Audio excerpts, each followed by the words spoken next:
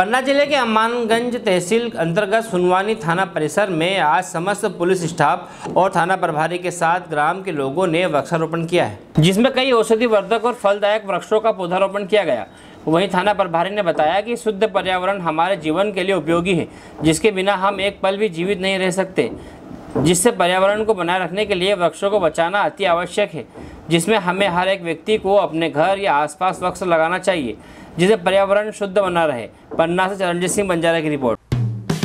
Hello friends आप देख रहे हैं हमारा channel S W twenty four news हमारे सारे वीडियो सबसे पहले देखने के लिए आप हमारे चैनल को सब्सक्राइब करें और पास में लगे बेल आइकन को दबाना बिल्कुल भी ना भूलें।